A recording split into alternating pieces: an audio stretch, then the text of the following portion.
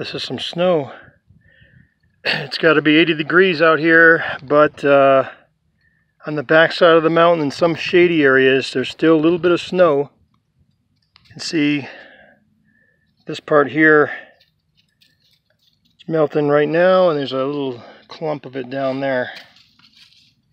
Saw another clump of it up here. But just to see how warm it is today,